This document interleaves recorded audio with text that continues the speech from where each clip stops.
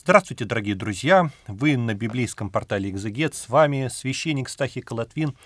И сегодня, как обычно, по уже сложившейся традиции, мы разберем с вами один единственный стих Священного Писания, который Э, вот из этого места евангельского и сам я когда читал, тоже в детстве, даже, можно сказать, в студенческие годы на богословском факультете, тоже вот пробегаешь мимо взглядом и даже на нем не сосредоточился. И сама вот эта притча, из которой этот стих взят, она не пользуется таким вниманием, увы, увы, замечательная притча, э, как-то мимо нее проскальзывает, потому что рядом, может, какие-то более яркие образы, приведенные Христом, есть другие замечательные, но это не повод, конечно, от этой притчи отказываться, чтобы ее исследовать.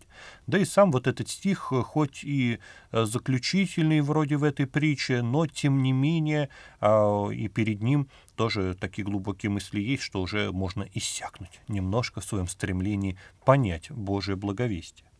Давайте с вами откроем четвертую главу Евангелия от Марка и прочтем 29 стих. «Когда же созреет плод, немедленно посылает серп, потому что настала жатва». Вот э, в заголовок нашего видеоотрывка я вынес такой вопрос, почему умирают наши близкие. Эта тема, э, с одной стороны, вроде такая грустная, а с другой стороны, она может быть и радостной. Как нам возвещает библейский текст, что э, радуйтесь с радующимися, плачьте с плачущими. И вот точно так же, конечно, сострадая тем людям, которые со своими близкими вынуждены расставаться, мы должны радоваться ни много ни мало за каждого человека умершего. Причем, ладно, это речь шла только о святых людях, в чьей загробной участи мы не сомневаемся. Э, но это мы должны радоваться, что человек умер, даже если мы понимаем, что это страшный злодей, ну, которого за страшное преступление поймали и приговорили к высшей мере наказания, причем еще до моратория на смертную казнь, предположим.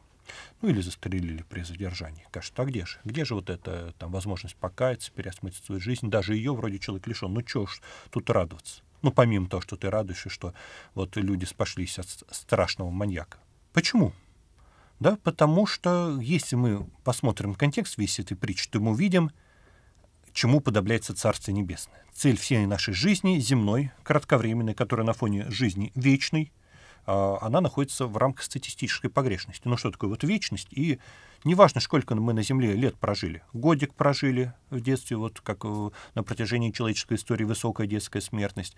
Там э, прожили, ну, в каком-то молодом возрасте, погибли на войне в 25, да, или от болезни в 50, или прожили там 80-100 лет, или долгожители, которые там 120 лет живут, и рекорды все э, побивают своим долгожитием, не считая, конечно, библейской продолжительности жизни первых праведников по изгнанию Израиля. А, к чему же а, вот эта наша такая кратковременная жизнь на фоне вечности, что сто лет, что годик, она ровно нам дана для того, чтобы определиться, где мы хотим быть, с Богом или без Него.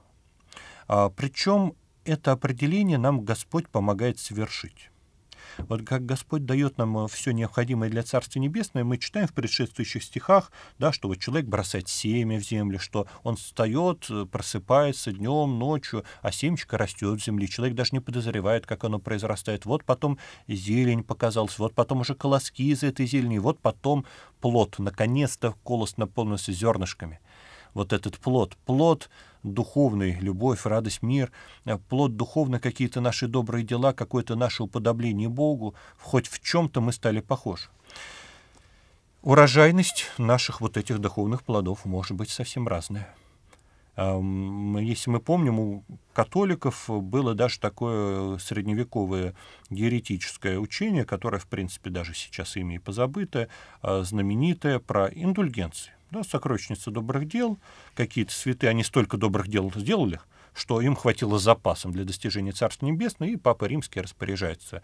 Вот ты в крестовый поход идешь, вот тебе из этих сокровищниц сможет грешить, грехи простятся. А ты там просто там деньги заплатил, купил, ну, тоже вот молодец.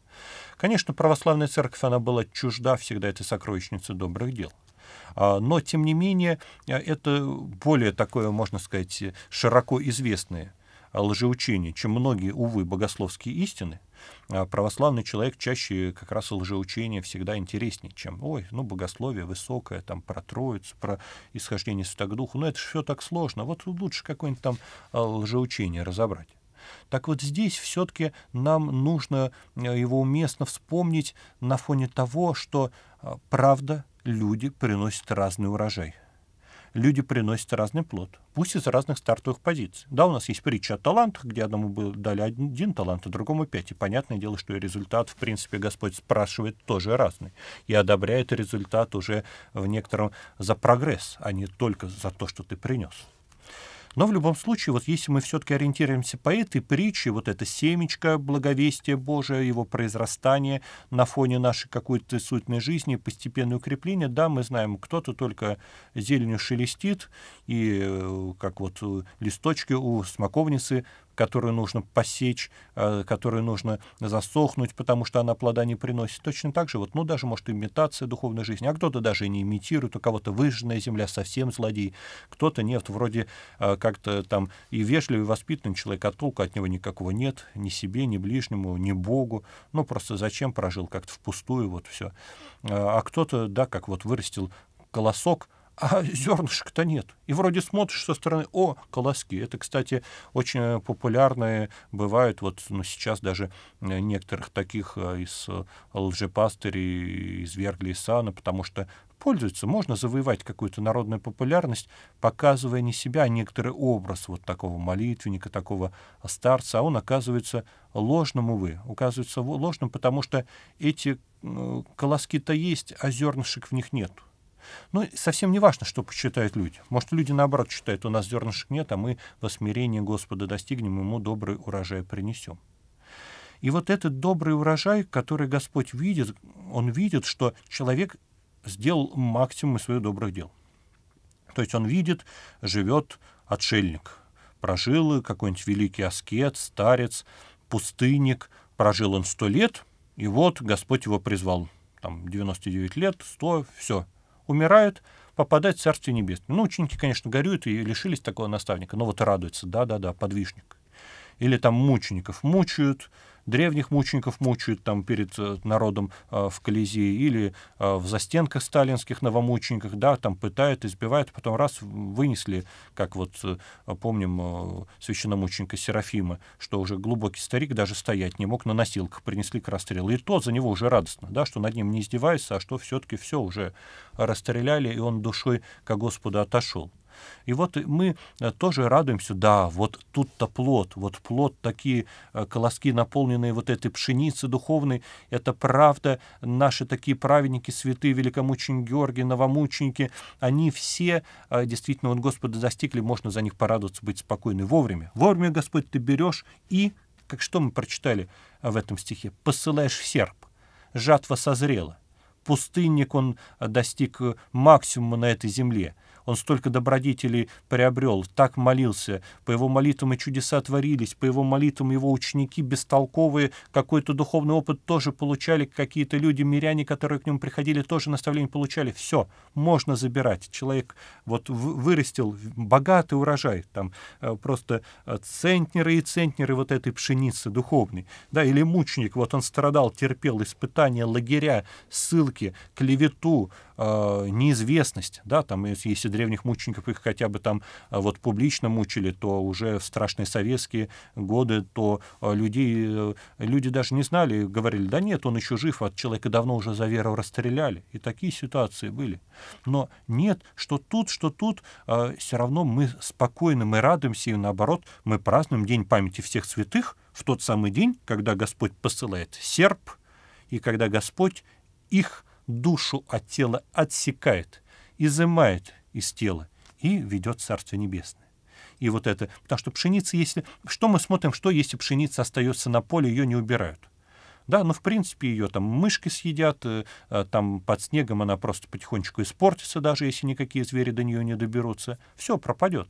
А наоборот, если собрали, то уже из нее хлеб испекли, уже э, из нее там кашу, возможно, сварили. То есть, в принципе, она продолжает пользу приносить. Точно так же уже душа святого человека, вот этот э, плод созрел, вот этот урожай есть, и она может Царствие Небесное наследовать.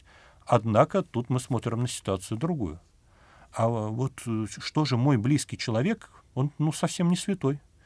Он наоборот думал, вот я сейчас выйду на пенсию, когда там пенсионный возраст, ну там, ой, сейчас подняли пенсионный возраст, ну чуть, значит, попозже, вот тогда я начну в храм ходить, молиться начну. Сейчас-то я работаю, сейчас мне не до этого. Или сейчас я учусь, или сейчас я еще на ступеньку по карьере, или сейчас я что-нибудь накоплю, и вот тогда я начну жить как христианин.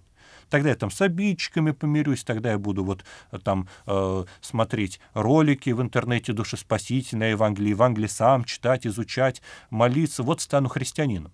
Вот, Господи, у меня как раз такой вот родственник был, а ты его раз и призвал. Э, там 50 лет, и уже рак, заболевание или авария какая-то, там трагедия, все, он умер. Какая же польза в нем? Почему вот серп послан? У него же колосок-то полупустой. Так Господь-то видит. Видит, когда максимальный урожай.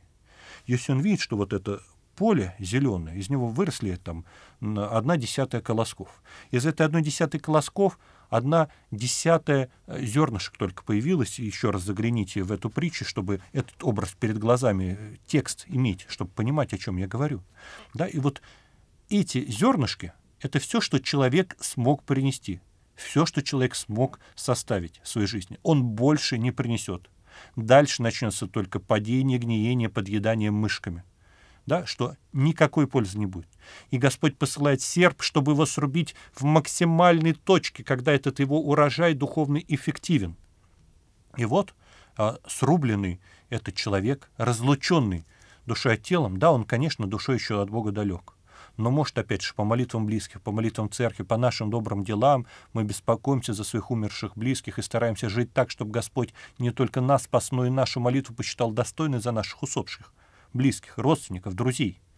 И а, тогда мы понимаем, понимаем, что да, вот Господи все-таки вовремя.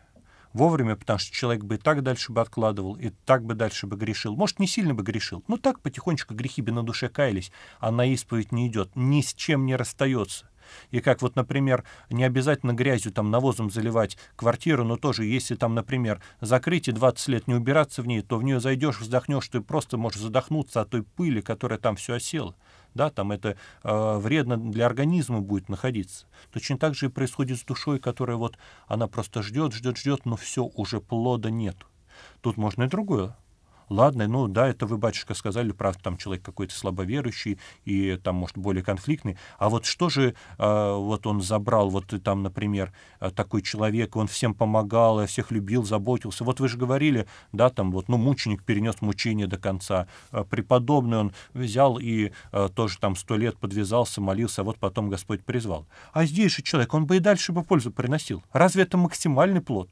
Разве это максимальное вот он количество колосков духовных вырастил? Почему Господь серпом его сейчас призвал? Такой хороший человек. Как это несправедливо. Вокруг должны были какие-нибудь злодеи умирать, а на этот человек. И здесь мы тоже должны понять. Здесь тоже та же самая ситуация. Господь видит максимальный урожай. Да, Господь видит, что сейчас под влиянием этой болезни человек, который терпеливый или унес, начнет ослабляться. Что сейчас человек, который привык всем помогать, а видит, что теперь начали помогать ему, не справится с этой горстью, ему кажется, что вот какой хороший, все мне должны. И человек поменяется. Что сейчас у человека он бодр, полон сил, у него хватает что-то делать добрые дела. А на старости лет у него этих сил не будет, он будет ослабляться, думать, вот, тогда-то раньше, ну, и тогда я вот и добродетелями занимался а никакого добра не увидел, вот сейчас я буду на старости лет грешить. Господь это все видит и предвосхищает. Он видит максимальный плод. Да, полполя созрело, второе поле, кажется, половинка тоже сейчас из зелени, колоски появятся, и зерна на них появятся, но Господь-то знает, что грядет засуха духовная. Или э, там духовный град, который весь этот урожай побьет, и Он его спасает. Если знает крестьянин, что град начинается, он бежит и быстрее собирает урожай, пока не началось. Если э, уже хоть что-то можно собрать, хоть часть урожая ее спасти, это лучше, чем ждать, когда еще все вырастет, а потом, неважно, или там монголы-татары прибегут, все пограбят, убьют, сожгут весь урожай. Уж лучше хоть часть собрать и где-то спрятать, остальная не собранная останется. Вот точно так же Господь действует в отношении даже, как нам кажется, таких хороших людей. Пока они хорошие, пока у них есть максимальный плод духовный, чтобы приблизиться к Богу, вот сейчас их призвать этим серпом. Но и даже для самых страшных злодеев. Господь берет и останавливает их злодейство. Господь берет, и уже человек однозначно грешный. И вроде бы, ну, ему бы подольше пожить, покаяться. Но, в принципе, так и бывает. Если человек, у него все хорошо, он живет долгие годы, там, до 100 лет, там, как миллионеры, там, шестая пересадка сердца, да, там, все могут себе позволить. Чего ж Господь их-то не призывает? Так потому что плода-то нет. Нету плода, и Господь, наоборот, ждет, ждет еще хоть что-то сделать. И правда, там миллионер, который там, может, думал только о себе, вот на старость лет подошла, деньги хапал, хапал, хапал, ну, может, раз на благотворительность что-то отдал, раз храм построил, да, ой, бандит, что ж он храм строит, да, хоть какая-то польза Господь ему дает, жизнь, э, Господь ему дает дальше существовать, делать, что сейчас, сейчас он хоть что-то доброе сделает, что его душе поможет, потому что его он тоже любит, и ждет, что какой-то плод он принесет. Да, он, ему-то кажется, он земной плод-то себе принес большой, а Богу ноль. И Господь этого ждет, и серп пока не посылает. Но или если он видит, что нет, человек э, безнадежен, что только возле будет возрастать, то он его остановит. Тоже он этот серп пошлет. И тоже человек, э, который только новые злодеяния будет делать. Э, обязательно этот человек, Господь его призовет, чтобы он хотя бы не с той тяжестью э, злодеяний приходил на страшный суд, хоть получал какой-то проблеск надежды, хоть чуть-чуть был ближе к Богу своей грешной, покалеченной самим собой душой. Поэтому мы смотрим во всех этих ситуациях. Надо, раз мы Богу верим, мы Ему доверяем. Господь показывает, Царство Божие, оно внутри нас произрастает, и Господь делает все необходимое, чтобы мы к этому Царству приблизились. Поэтому доверяем Богу. Если мы видим, что у нас близкий человек, хороший и не очень, а любящий и заботливый, или наоборот, который, ну, так, серединки на половинку умирает. Господь, значит, считает, что уже какой-то урожай он принес, максимальный, и больше он уже не принесет и призывает наших близких в тот самый момент их жизни, не нашей, не нашего удобства, не наших каких-то горечей и переживаний. Тут мы должны, раз мы думаем не о себе, а все-таки о ближних наших усопших, мы думаем о пользе их души. Так вот Господь посылает свой терп и призывает их души, иссекает их из тела в тот момент, когда они ближе всего к наследию Царствия Небесного.